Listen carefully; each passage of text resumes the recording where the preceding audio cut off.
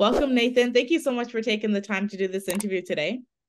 Thanks. I'm glad to be here. As always, we like to start by acknowledging the original stewards of the various lands that we're on, as well as our ancestors, those who toiled without compassion or compensation.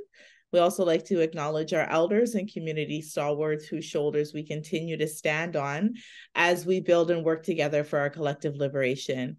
So I just want to start off by having you introduce yourself to our viewers and listeners. Sure. Um, so my name is Nathan Gardner, uh, and I am the executive director uh, of the Backdoor Mission uh, based out of Oshawa, uh, which also operates the Mission United Hub, of course, based in Simcoe Street United Church in the lovely downtown Oshawa.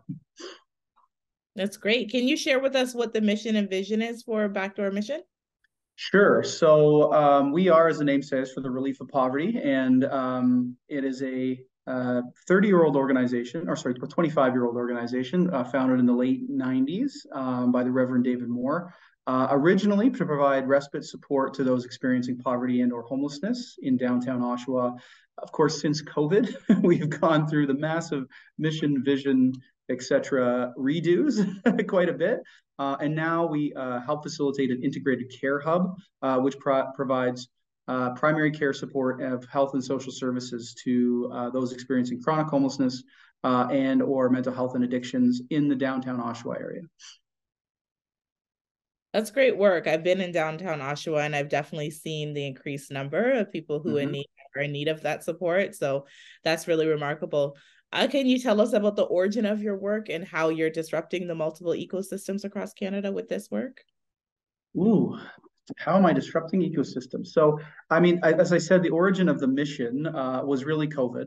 um, so, and it's interesting because our organization had a 10 year strategy plan and I think $50,000 budget and one employee in March of 2020. And uh, that plan was realized uh, about 90% of it within nine months' time because COVID really ramped up the absolute need. And so, what I really want to emphasize is that um, we had a vision of a, a, hub of service that executed and utilized um, a one stop shop and a place for an individual experiencing um, homelessness to be able to uh, access those services in a very low barrier uh, approach.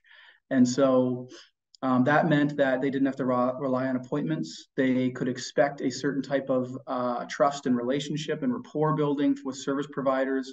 Uh, they they looked at things uh, like policy within an organization as fluid uh, in order to meet the needs of somebody in that moment and relied on what's called a point in time model. So as much as could be provided to one person in one in that day while they're able to, um, we try to model services based on that. So if you think of the old model, um, an individual um, that might need support, say for um, uh, housing, their ID, they might need ID, they might need to get their income um, through either Ontario Works or ODSP settled, uh, and then they would have to take care of their uh, their primary care needs, whether they be addictions based or whether it just be they need medicine or uh, a care plan. Uh, those things in the past, you'd have to go to multiple different organizations, make appointments, call intakes, go through the process a million times. Well, the point of the mission in the hub uh, is to be able to uh, simplify. So if somebody comes in and say, I need support, and in one day, uh, probably less, they're able to get all those things checked off, at least from uh, the base level, and they're able to continue on with their uh, their their lives and their day. and what we do is stabilize those individuals. So um, you know, if you think of the, the key components of recovery and care and wellness, uh, you, it's things like you have to have enough sleep, you have to have the right type of medicine, you have to be able to be fed. The basic needs have to be met for an individual before they can meet on. So our disruption, if you would say, is to try to provide those things uh, in a in a system that didn't meet the needs of individuals who might not be able to uh, perform those those functions over the course of weeks and months and and, and appointments and transit and all that sort of thing is to try to provide those things in the moment across different sectors uh, and across different organizations. That's great. I, de- I definitely see how um, you know there is a, a, trickling effect in other communities. So uh, great mm-hmm. to hear that. How important do you think philanthropic innovation is in the work that you're doing?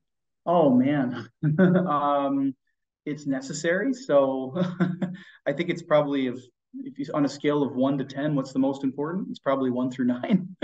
I mean, it's interesting because I've I've oh, in ways I know that the United States model is sometimes jealous of us because we have a lot of public investment into programs and services, social services and healthcare. But uh, on the inverse, sometimes we look at them and the philanthropic culture in in you know major cities, Washington and Seattle and New York and in the states. You know, I've heard of things like building food deserts or building grocery stores and food deserts, building light rail systems, all through nonprofit and philanthropic uh, endeavors. And here in Canada and Ontario, we have a great philanthropic culture. It's just not the same. So, um, what I what I think is, um, in terms of what I think is needed next with with philanthropy, uh, I should say, first of all, Imagine Canada is doing some great work on this kind of stuff. But one, as uh, as organizations, we need to work inward, inwardly and begin to be get a, a, lot louder, a lot more vocal about what our needs are, um, and and not kind of play nice Canadians all the time. We sort of have to look at this and be proud, be be brazen, be bold, um, be uh, you know maybe flashy if need be, but be out there uh, about the work that we do and why we require investment, not funding investment. And so, uh, on the inverse, I think uh, uh from the philanthropic sector, we really need to begin to understand that culture of investment in an organization. So a place like ours, I would say, we've created something new based on need out of COVID. And, and I'm not pointing just at us. There are great hub-centered models and, and integrated care models across the province and across the country.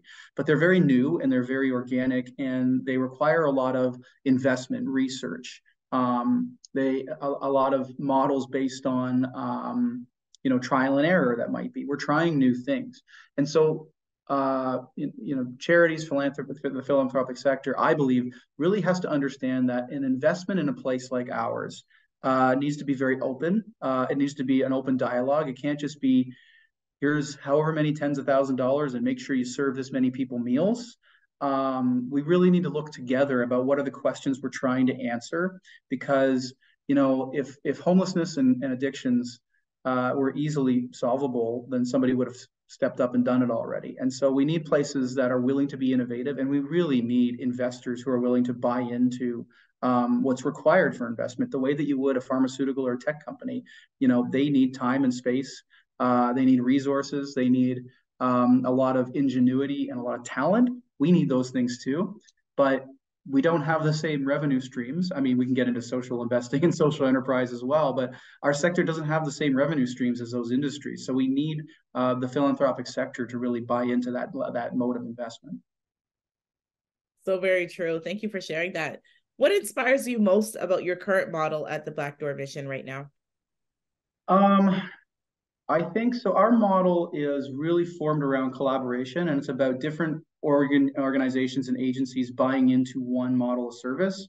I will say, very challenging, right? So we have 11 different agencies on site across, I think, three different sectors. Uh, and that includes multiple types of legislation, multiple types of unions, multiple types of policies within organizations. Some are government, some are NGOs, some are otherwise.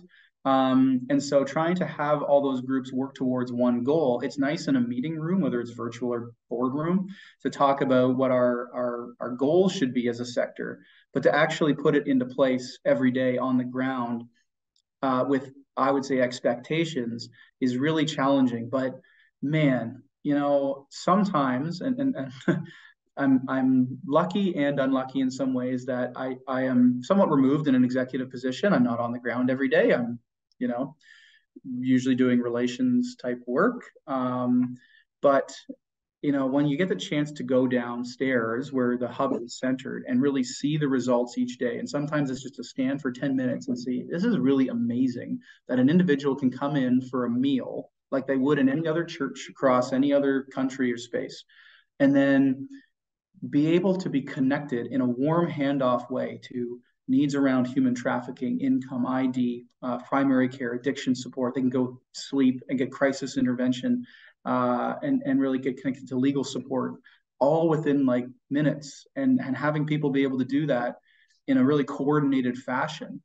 It's it what motivates me is to see the efficacy and the effectiveness on a daily basis. Um, of, uh, and because I worked in the sector before and we tried to solve these things in different ways um, through systems planning. But but really, it was it.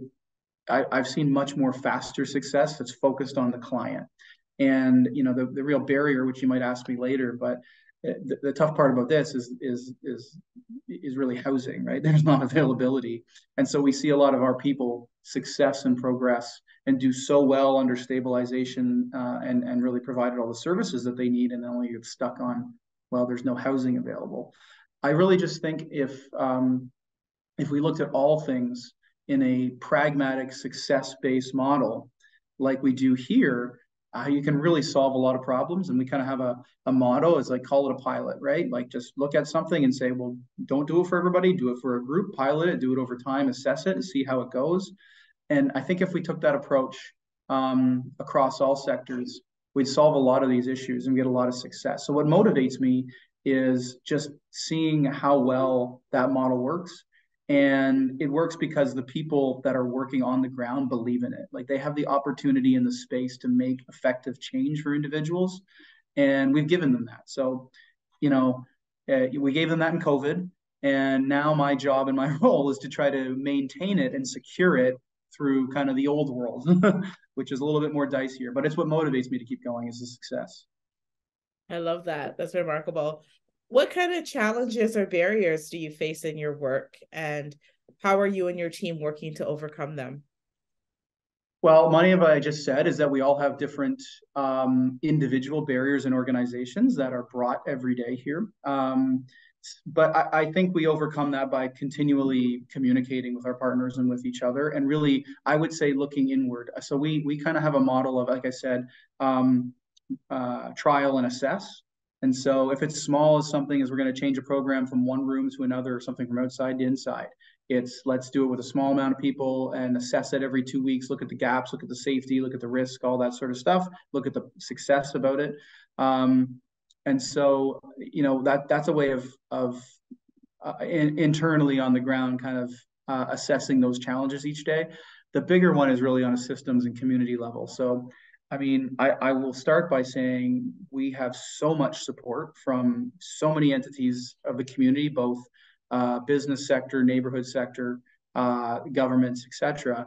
But I mean, the challenge of, you know, whether it's NIMBYism, whether it's um, a, a lack of understanding of uh, addictions and homelessness, uh, it really is tough to make headway in the efficient manner that we want to when we have to keep coming back and fighting these challenges. And I think, um, you know, one of the things that's always tough is is trying to answer those questions about the nature of our work and the nature of our people uh, on a on an ongoing iterative basis, over and over again at community meetings, town halls, phone calls, interviews, that sort of thing. Um, because you know we get the we get the same questions as I've been here for two and a half years, and it's are the people coming from Oshawa? Are they coming from outside? How many of your people actually are attracted here? Um, are they um, trying to get jobs? Are they um, actually trying to take part in your programs? Um, why are they Why are they in that situation? Like, tell me what the reason is, and let's go attack it. Is it the police? Is it the Is it a, a problem with um, the government? Is it housing? Like, let's let's let's let's find it. But the challenge is really trying to communicate that this is a one. It's a it's a it's a world problem that's existed forever, um, and it's just really exacerbated right now. And two, the the the challenges and the success are not like take a pill and it's over. They are very very community based and and and usually involve everybody's support and take a long time. So, trying to have those conversations is is a challenge. Um, but uh, you know that's something that we we kind of welcome here. It's just a matter of time and resources. And then without getting into too many details, of course, the biggest challenge is money. we have the funding, the resources to be able to do it, to make sure that our people are not um, burnt out too quickly, that they're able to support our our, uh, our, our individuals and and that our staff is kind of you know easily retained and and well themselves. So I think our sector as a whole, which you guys would know, um, suffers from a lot of that stuff. And in in you know on the ground, community based mental health addictions and homelessness service, it's probably I'm not going to go out and say it's it's where it's the worst, but it, I'm hazard to guess it might be kind of the toughest part of the sector. So very true. Uh, do you have a key set of priorities that you're working on right now uh, beyond like your general mandate that you'd like to highlight? Do you mean me individually or as a as a team or? I uh, know the Blue Door mission. If they have anything specific um, to highlight right now.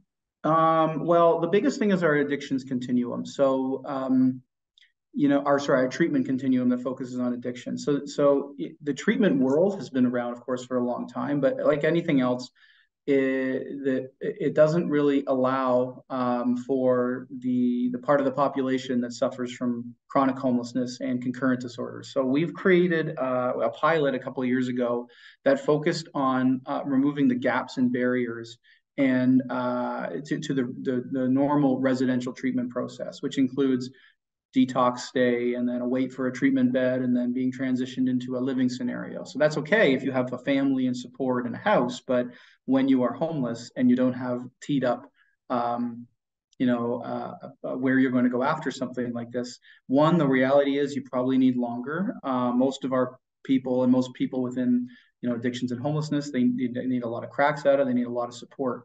So we are advocating for a uh, what's called a continuum which includes elements of pre-treatment readiness, uh, stabilization, withdrawal management, um, a detox, a residential treatment stay that's transitioned into post-treatment, uh, which includes more of acclimatization and, and, and living-based scenarios and getting ready to be back into the uh, the uh, I shouldn't say back into the world, but and enter a world uh, that's all focused on a client-centered approach, harm reduction methods, everything else that might be ent- entitled, and really having a team that wraps around that individual that supports them from beginning to end, all with a focus on uh, principles that are based on we don't discharge people, go back into homelessness, and we prepare them. It's all towards making sure that they are housed at the end and stable at the end of that. So that's something that it's a new initiative within the mission.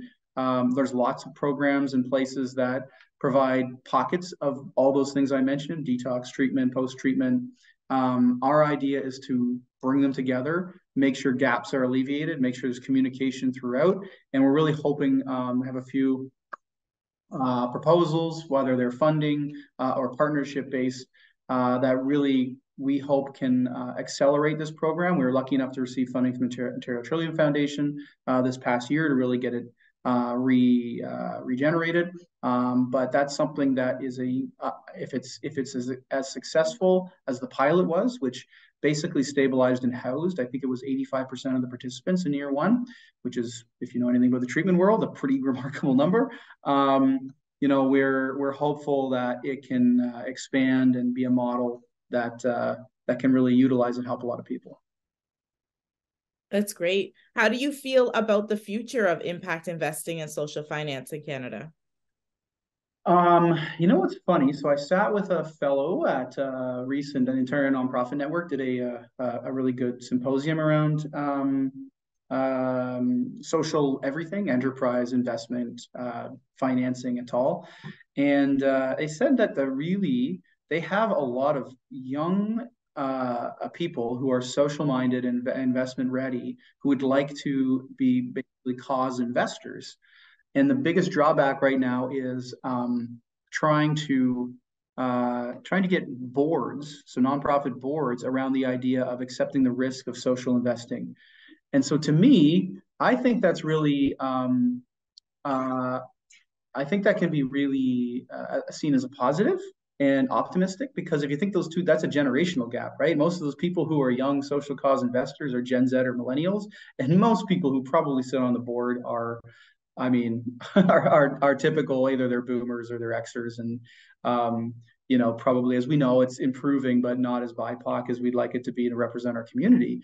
Um, and so those things kind of tend to change over time.